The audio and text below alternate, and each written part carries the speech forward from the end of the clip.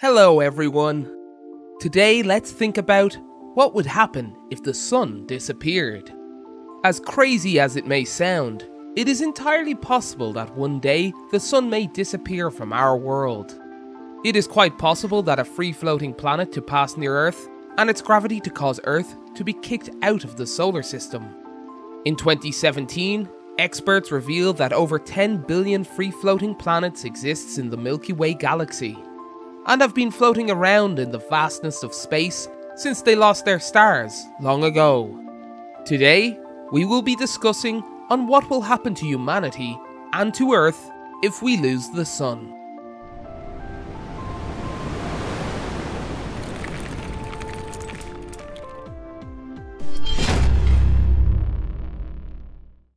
What would happen if one day the sun suddenly disappeared and for some reason humanity were unable to react appropriately? Everything about Earth will change dramatically. The Earth will fly chaotically, and while the moon may follow Earth, you won't be able to see the moon in the sky anymore. Simply because there won't be any sun rays for the moon to reflect. On the other hand, since the brightness of the sun will be gone, other stars will shine brighter than ever. Also, the whole Earth will be swallowed up into an unfathomable darkness. A suburban field will be 300 times darker compared to a cloudless night with a full moon. And of course, chaos will erupt in many parts of the world. As people living in warm countries are not used to the low temperatures, when the temperature suddenly drops, people will flee in search of a location where they can survive the harsh winter. In the beginning, lights and heat will be available as the power plants will be functioning normally. It is said that within the first three days, the average temperature would drop down to an average of 0 degrees Celsius. For a while, the atmosphere and the ocean will maintain its heat, so there won't be a sudden drop in the temperature there. In about a week after the sun disappears, some people predict that the average temperature of the Earth would drop down to minus 3 degrees Celsius, and some predict as low as minus 17 to minus 20 degrees Celsius. In 2 to 3 weeks, most of the plants on Earth will die, as without the sun, the temperature will drop drastically and the plants won't be able to perform photosynthesis.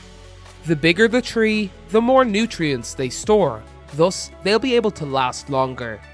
From this point on, no new oxygen will be produced in the atmosphere, but due to various reasons, the existing oxygen will be sufficient for a while. That is because, first of all, by plants dying, any oxygen consuming creatures, such as humans and animals, will go extinct. Furthermore, the atmosphere contains a lot of oxygen, so even if we consume the oxygen at the same rate as we do today, it will last for several hundred, if not a thousand years. Some scientists estimate that the average temperature of the Earth will drop to minus 40 degrees Celsius, while others estimate as low as minus 70 degrees Celsius. So, if developed countries build shelters, just like how God created Noah's Ark to rescue humanity, people will be able to live relatively comfortably for the first few months. Of course, this is assuming that the people of the developing countries do not swarm into the shelters as a result of chaos and panic. And eventually, the command structure and systems will collapse like an avalanche, as most governments in the developed countries will become dysfunctional.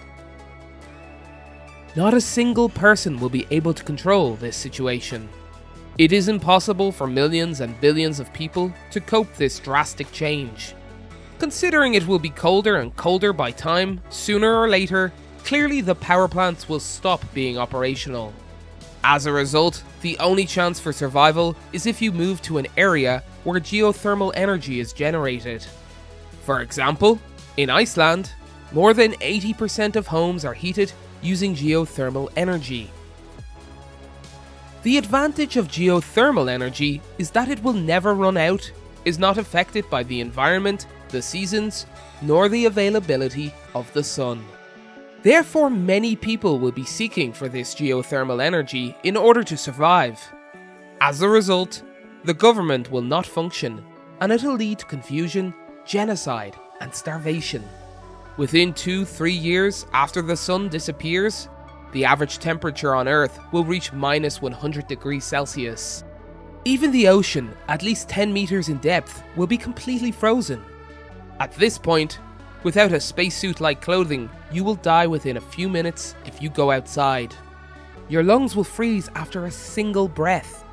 Essentially, within the first 12 to 6 months, unless you can settle into a place where you can stay warm, death will be unavoidable.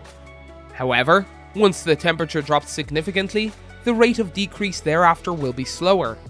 Slowly but surely, within a decade, the temperature will reach minus 125 degrees Celsius, and because the atmosphere is so cold, the air particles will condense, fall, and accumulate on the ground. In the beginning, it'll be liquidy, then eventually, it will solidify and accumulate like snow. As a result, the air in the atmosphere becomes thinner and thinner. So without a spacesuit like clothing that can control the air pressure, it'd be impossible to go out at all. The first thing us human beings should do is to prepare a machine that can generate oxygen consistently. If that's not available, we then need some sort of system or a method that can dissolve the accumulated solidified substance. In addition, we must have some form of a backup for the generators and other equipments. Lastly, wherever humans end up living, plants will need to be exposed to artificial lights so that they can photosynthesize.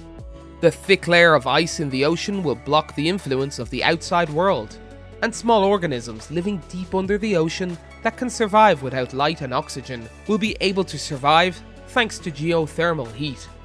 These organisms can convert such heat into energy. 200 years after the sun disappears, several kilometers depth of Earth will be completely frozen. However, since the core of Earth emits heat consistently, beneath thick ice, along with microorganisms, there will be some unfrozen water. It will remain in that state for several billion years. David Stevenson, the professor of earth science at the California Institute of Technology, believes that millions of years after the sun disappears, the Earth's temperature will be at a constant minus 160 degrees Celsius, which will cause the heat emitted by the Earth's core and the heat by geothermal energy to be the same. In summary, Earth may become like a spaceship for microorganisms or giant organisms that survived deep underwater. As this is all prediction, who knows if humans can actually even survive the first 100 years after the sun's disappearance. If the sun suddenly disappeared, it would be extremely difficult to build a giant shelter, which is essential for the survival of mankind and allows self-efficiency in such harsh cold weather and in such a short period.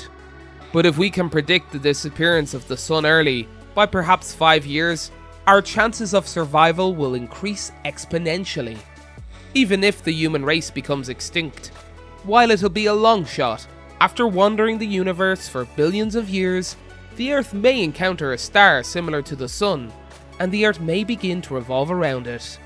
If that happens, the iced ocean will unfreeze again, and the microorganisms that survived will start a new race for survival and evolution. May even to a point where another intelligent life species is born. That is it for today. Isn't it scary to imagine a world without the sun? Let's appreciate our world, where the sun lights us. We also appreciate you guys, the viewers, as much as we appreciate the sun. Thank you for watching. Please like and subscribe. Until next time, goodbye.